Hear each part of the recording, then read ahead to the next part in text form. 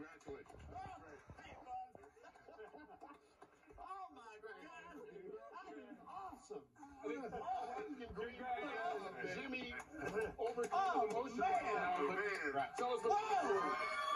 Oh! Yeah!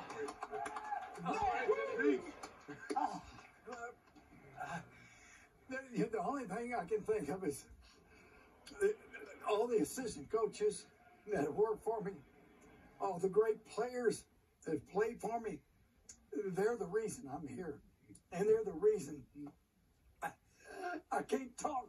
All right. No, no. Where's your, I mean, where's your I mean, I mean, uh, this is so special to me because when you put in the work that we put in, it's nice to know people appreciate it.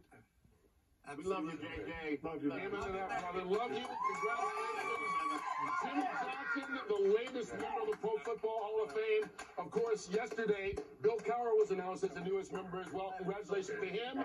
The full class will be announced on NFL Network on Wednesday on Good Morning Football. Congratulations to all the nominees for this year's Pro Football Hall of Fame class.